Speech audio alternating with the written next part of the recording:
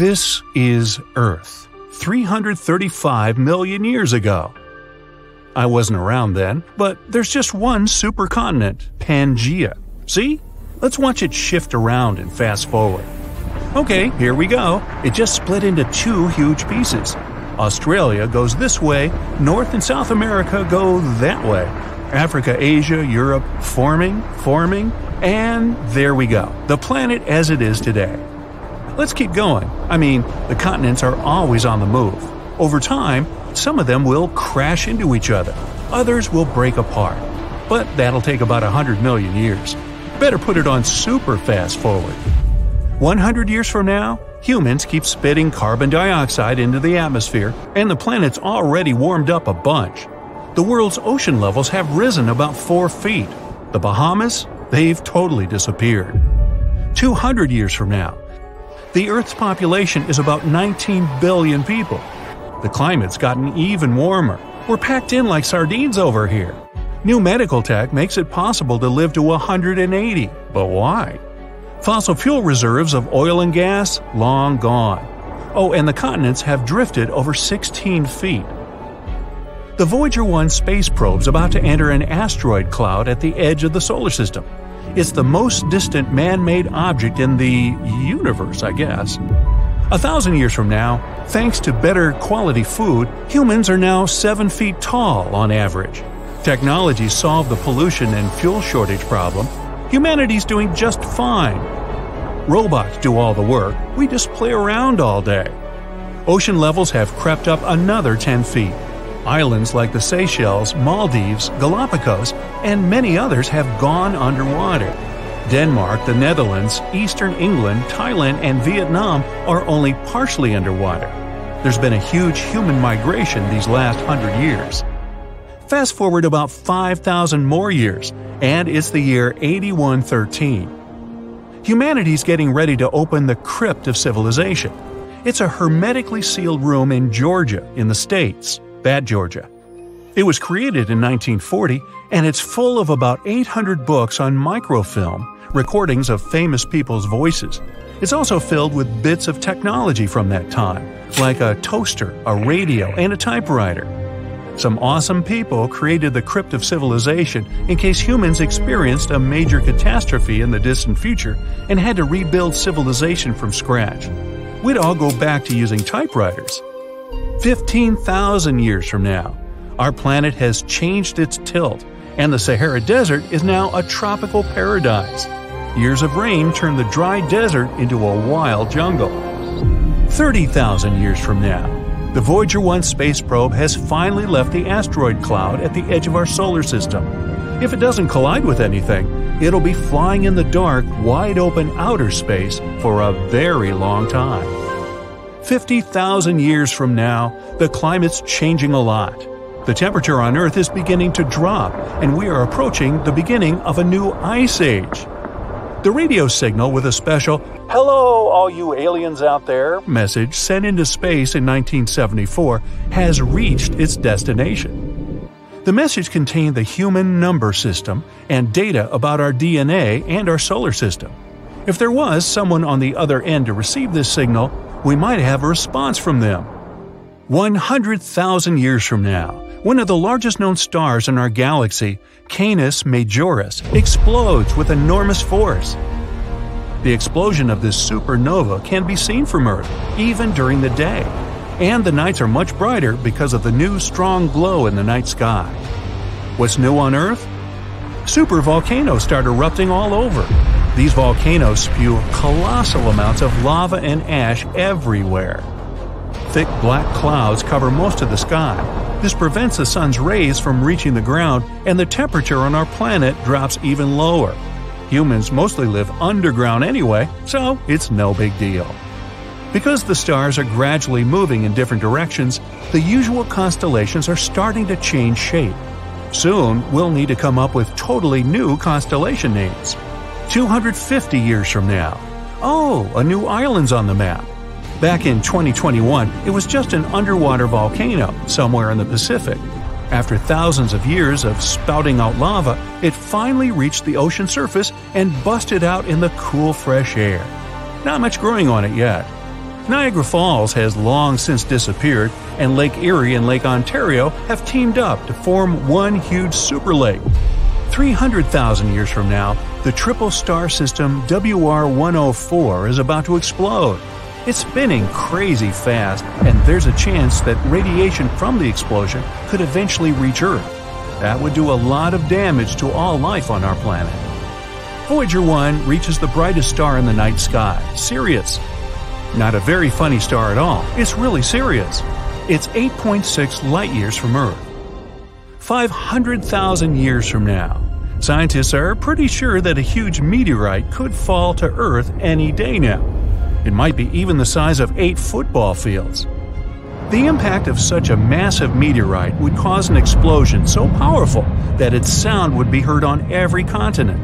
That would be followed by super strong earthquakes and tsunamis higher than the Brightside Empire municipal building tower thingy. Okay, I just made that up, but who knows what we'll be building in the future. One million years from now, the rogue star Gliese 710 comes very close to our solar system. We're surrounded by a huge shield of asteroids called the Oort cloud, and the rogue star is beginning to affect the asteroids hanging out in there. It grabs them, spins them around, and throws them toward the center of our solar system. Comets start to fall on our planet all the time, big ones, causing more tsunamis and earthquakes. 10 million years from now, the Red Sea is gradually expanding into the East African Rift. Africa is now divided in two by a new oceanic gulf. The human DNA molecule has completely decomposed. But it's no big deal. We've become totally digital, without any pesky aging problems. The really cool thing is that other animals have evolved a lot and changed ridiculously. Thanks to a simple interface, we're actually able to talk to dolphins, chimps, dogs, and cats. Turns out cats aren't grumpy, they're just busy contemplating life. 25 million years from now. The San Andreas Fault has been crazy recently and has caused the Gulf of California to flood the Central Valley. There's a new sea on the west coast of North America. 50 million years from now, Africa just collided with Eurasia. The Mediterranean Sea is totally gone. There's a new tallest mountain in the world. Its name? Mount Everest, of course. Australia is continuing its journey north. It already collided with Southeast Asia a few million years ago. The few human colonies still left on Mars need to do some serious packing. Phobos, one of Mars' moons, is beginning to orbit at a lower and lower altitude. That's not good. It's about 14 miles wide, so that's going to be unpleasant.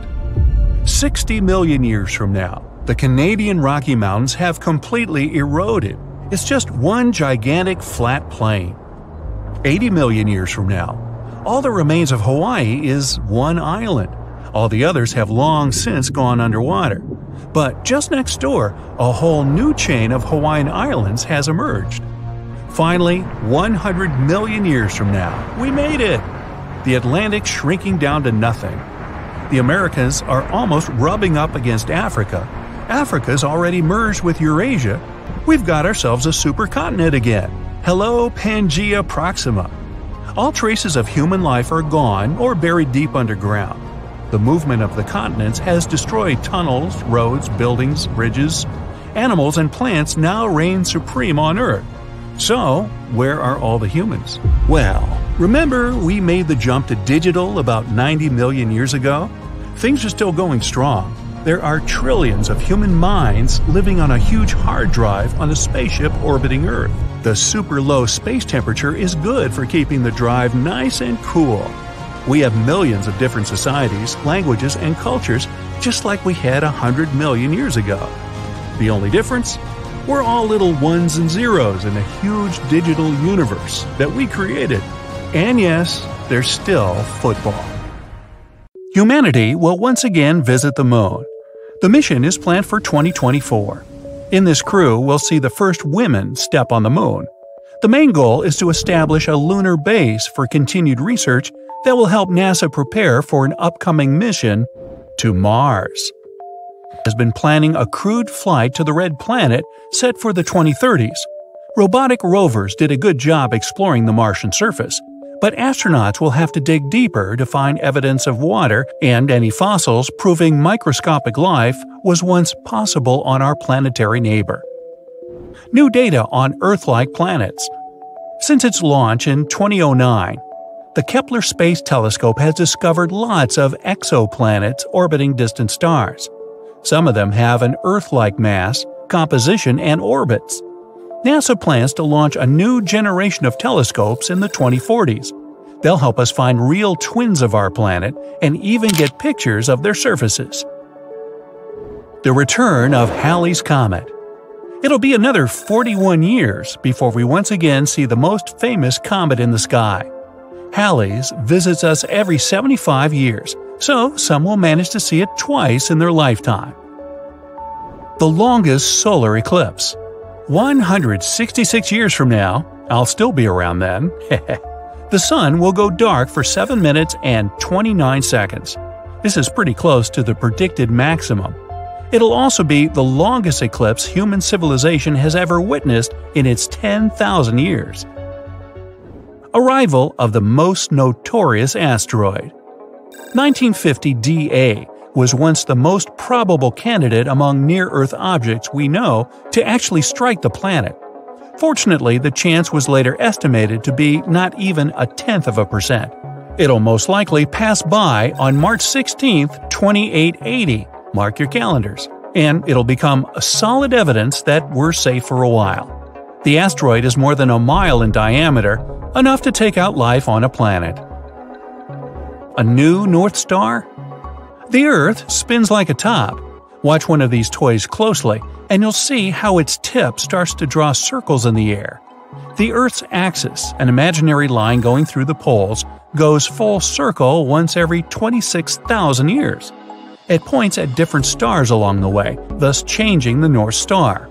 By the year 3000, the Gamma Cephei star will share this title with Polaris, as the Earth's axis will point right between them the first near Earth supernova. Antares is the 15th brightest star in the night skies. It's also an old red supergiant 12 times larger than the Sun. Stars this massive age to a point where they collapse in on themselves, producing huge supernovas. For Antares, this will happen just 10,000 years from now, which is nothing for a 12 million year old star. The resulting burst will be too far away to affect life on this planet negatively but the light show will be visible here on Earth even during the day. Message to the Universe Delivered Arecibo is the encoded message describing humanity, life on Earth, and the advancement of our scientific knowledge. It was broadcast from the Arecibo radio telescope and aimed at the center of the M13 cluster 25,000 light years away from us.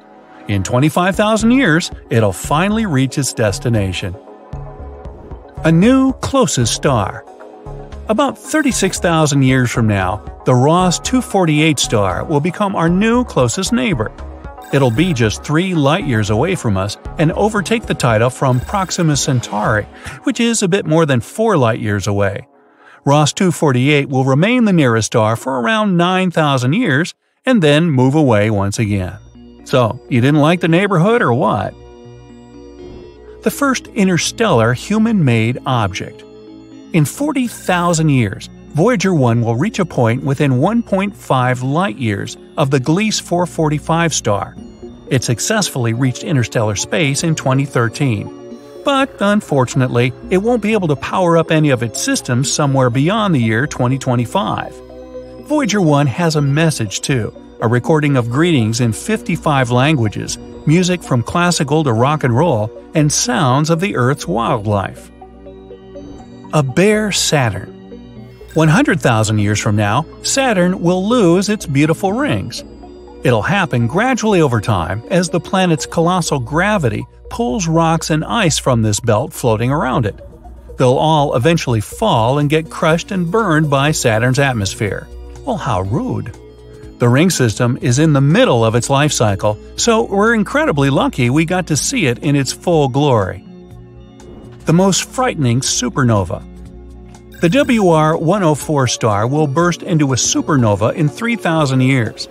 This star is 75,000 light years away from us, and the blast won't touch us at all. But there is a small chance it'll also produce a gamma ray burst in the process. If this stream of energy happens to aim right at us, it will negatively affect life on Earth.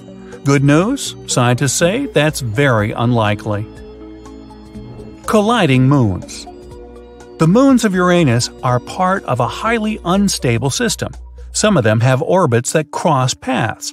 Uranus already has two rings of debris from past collisions of its natural satellites.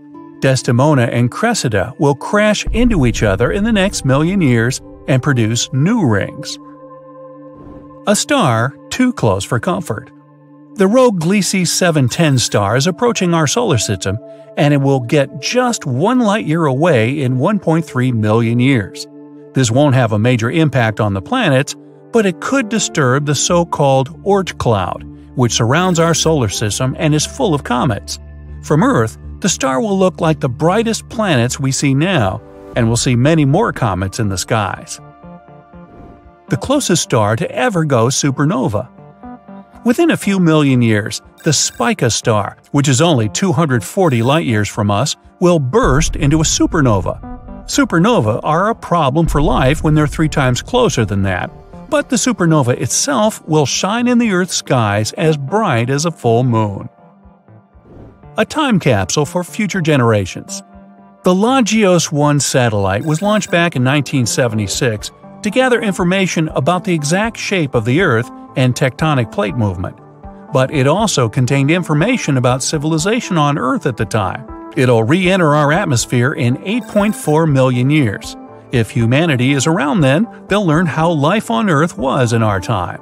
Well, at least how it was some 40 years ago. Rings for Mars Mars' moon, Phobos, orbits really close to the surface, and it continues to get two feet closer every century. 50 million years from now, it'll collide with Mars, resulting in a massive amount of debris going into orbit and forming a ring system around the red planet. Oh, can't wait for that days on Earth will get longer. No, really? 1.4 billion years ago, the Moon was much closer to our planet. It made the Earth rotate faster, so the day was only 18 hours. The Moon is continuously moving away from Earth. In 180 million years, we'll gain one extra hour. In a little over 2 billion years, a day on Earth will be 36 hours long. No more solar eclipses. 600 million years into the future, the moon will move away from the Earth too far to cover the sun during eclipses. Those will become ancient relics. The sun will get too bright. It'll take about a billion years for the sun to raise its luminosity by 10%. This will be devastating for planets in the solar system, and life on Earth won't be possible beyond this point. By then, our species will likely have found a new planetary home the Sun will swallow the inner planets. In 5 billion years, the Sun will begin to evolve into a red giant, growing hundreds of times its current size. It'll swell up so much, it will eventually engulf Mercury, Venus, and possibly Earth. The new Goldilocks habitable zone may shift to the orbits of Jupiter and Saturn. This process will take a bit under 3 billion years until the Sun reaches its maximum size. After that, our star will shrink into a white dwarf. The most epic event ever. Around the same time our Sun is swelled up, the nearest neighboring galaxy, Andromeda, will come too close to the Milky Way.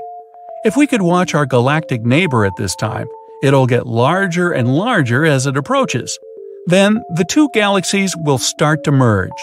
Bright blue stars will burst into life. New constellations will form. The two spiral galaxies will now be a single giant elliptical one. Wow, I've set an alarm on my smartphone so I don't miss it.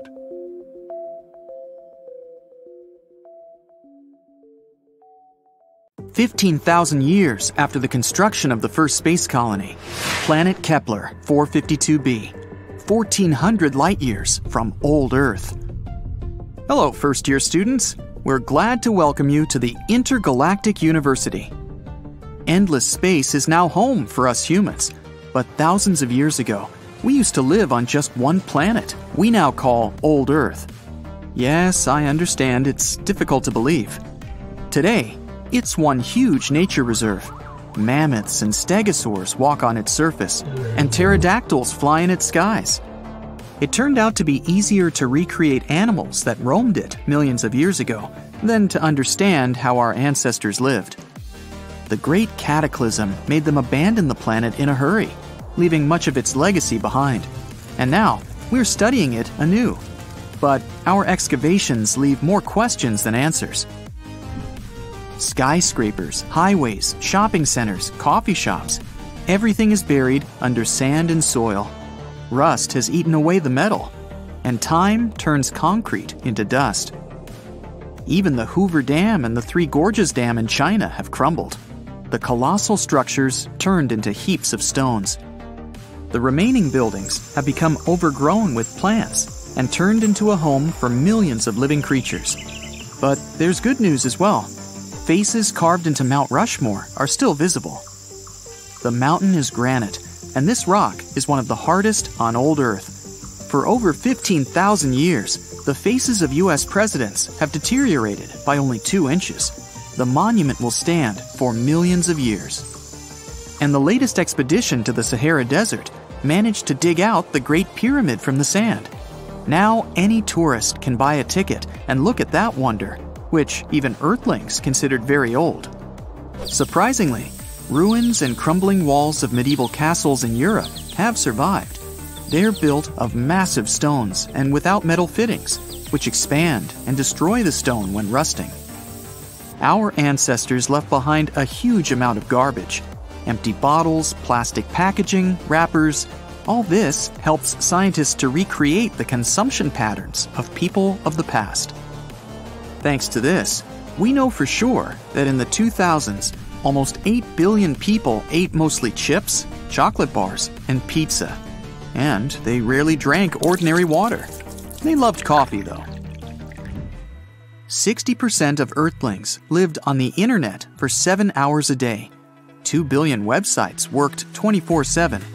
At first, information was stored on hard disks, flash drives, and compact disks.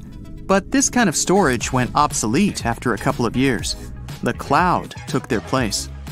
It was an online storage with servers connected to the global network. They recorded the entire life of Earth's civilization and were stored in data centers. In space, the Earth's internet didn't work well. Apparently, huge distances and lack of technical knowledge did their job. Imagine that a Pluto resident wants to know the difference between margarita and calzone pizzas. They click the link and wait for a couple of hours for it to open. If the dough's already in the oven, no good. Each colony organized its own internet by sending satellites to orbit their planets. It took time to connect thousands of colonies into the intergalactic web we now know as Uninet. When the cataclysm struck, people had to escape, leaving their planet to its fate. Electricity went out, no one maintained the servers and data centers, and lots of info about their civilization was lost. We've scanned miles deep into the Earth and found many interesting artifacts. Students, I invite you to look at this amazing thing. The Earthlings called it a camera. People took pictures of their food, morning runs, and new shoes on it. One thing our scientists couldn't comprehend, though, is that ancient people used to communicate with its help too. One of the main mysteries of the past are the dishes of different sizes. Archaeologists find them in almost every home, they bear these names Buddy, Cosmo, Rex, Princess. We know these were the things from which dogs and cats ate, but we don't know why people pampered these animals so much. For example, archaeologists recently unearthed a beauty salon for poodles in San Francisco. I also love my dragon from the jungles of Gliese 832c, but I don't perm its fur and manicure its claws. And this is my favorite artifact a book. There's nothing more valuable in the universe. There's only one sample in my antiques collection. It's a cooking recipes anthology. I paid a fortune for it. The ruins of museums are treasures for archaeologists and all the new humanity. These buildings collapsed a long time ago and now look like ordinary hills, overgrown with trees and grass. Museums are like pearls in the ocean. They lie at the bottom and wait to be fished from their shells. And sometimes archaeologists manage that. Books, paintings, documents, and clothes have mostly turned to dust. But we can enjoy the statues that were carved out of marble by masters of ancient Greece and Rome. On the walls of caves around the world, there are drawings of animals and handprints of the first people. They didn't know how to read, drive a car, or fly a spaceship, but their paintings have survived. It's incredible. Over thousands of years, time has eaten up huge dams, cities with skyscrapers and bridges, and the palm of an ancient human still adorns the cold and rough wall of a cave. Space archaeology is becoming more and more popular. Thousands of tons of space debris fly around old Earth. The real sensation is the discovery of the Voyager 1 probe. Earthlings sent it into space at the very beginning of their development. I see your condescending smiles. Today, such a device can be assembled by any first year student from spare parts in their parents' garage. But, dear students, let's not laugh at our ancestors. They tried their best. Voyager isn't a simple satellite. The device can be compared to a message in a bottle thrown into the sea. And the cosmic sea is millions of times larger than the Pacific Ocean of old Earth engineers of the past left a time capsule with a message in the probe. It contains photographs of people and the nature of the planet, as well as scientific information about the Earth. 90 minutes of recorded music are of particular interest. This is a real gift from our ancestors to us, to the people of space. Radio signals that humankind sent into space have also survived. We've tracked them. Radio broadcasts, phone conversations, even music charts continue their journey through space. Millions of years later, they'll weaken and leave behind only an electromagnetic echo. In 2020, there were 1.4 billion cars on old Earth. Unbelievable! But they moved along asphalted roads on rubber tires, not in the air. When humans flew into space, they left their vehicles on the planet. Within just a couple hundred years, the cars went completely bust and turned into piles of metal, plastic, and rubber. One that survived for millennia was the Lunar Roving Vehicle. There's no air, no water, and no earthquakes on the moon. Anything that comes here becomes kind of suspended in time, and that's what happened to the rover. Archaeologists have found a lot of other whole and crashed spacecraft on the moon, these devices are priceless artifacts in the Museum of Primitive Earth Technology. In the Svalbard archipelago in the Arctic Ocean, scientists have unearthed the Global Seed Vault. Earthlings built it in 2008. It became a real sensation. The huge silo contained 4.5 million samples of 500 seeds each. Billions of seeds have helped provide agriculture for the colonies, now you can eat popcorn and hamburgers with real bread rolls thanks to those. For thousands of years, the seeds were kept without human attention. This isn't a miracle, but an accurate scientific calculation. The vault is built underground at a depth of 390 feet. There are no earthquakes or floods there, and the permafrost provided the optimum temperature for the seeds to survive. Most metals are mined from ore, these ores don't contain pure metals, but only their chemical compounds. To get pure iron, the ore must be smelted first. But there's a problem. Metals from ore oxidize on contact with water or oxygen. Simply put, they rust. This is how metal returns to its natural ore state. That's why nails, metal fences, bridges, and houses rust and collapse but this doesn't happen with gold, silver, and platinum. Things made from these metals are eternal and will never lose their shape. Of course, if you don't start hitting the rings and pennants with a hammer. During excavations, archaeologists find thousands of jewelry items. Earthlings love to wear them on their bodies crowns, luxurious necklaces, wedding rings. All this jewelry is now history kept in galactic museums.